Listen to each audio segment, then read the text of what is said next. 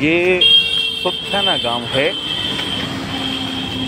और इस सुत्थाना गाँव की ये सर्विस रोड सर्विस रोड भी लबालब भरी हुई है और लोगों के घरों में पानी जैसे घुस ही जाएगा।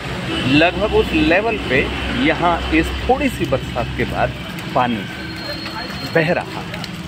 अब ये देखिए कि ये स्थिति आखिर आई क्यों? ये अगर आप देख पाएँ तो मेरे कहाँ तक पानी है?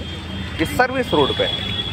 ये स्थिति इसलिए आई कि ये जो बगल में अब आप ढेर देख रहे हैं ना, ये नाली है। जिसका पता नहीं पड़ रहा है कि ये नाली है। और ये नाली लबालब भरी हुई है, क्योंकि जिन पर, जिन लोगों को इसे साफ़ करना है, वो इसे बार बार कहने के बावजूद साफ़ नहीं करते।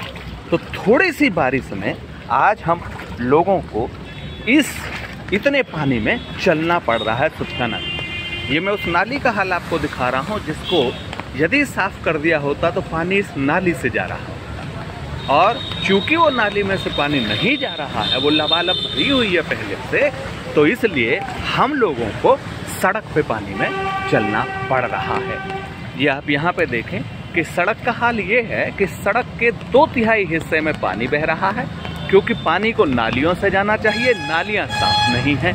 तो लोगों को यदि कुछ दूर तक दिख जाए तो लोगों को ऑटो वगैरह पकड़ने के लिए भी, अपनी नौकरी पे जाने के लिए, लगभग फुटपाथ के पास जाके उनको उसके लिए कोशिश करनी पड़ रही है। मेरा संबंधित अधिकारियों से अनुरोध है कि अपने कर्मचारियों को थोड़ा सा जागरूक करें कर्तव्य के प्रति और उनसे कहें कि, भैया, यदि आप ये काम कर दोगे तो न केवल आपको अपने कर्तव्य को करने की एक संतुष्टि प्राप्त होगी, बल्कि इस बात के तुम्हें पैसे मिल रहे हैं। तुमको एहसान नहीं करोगे।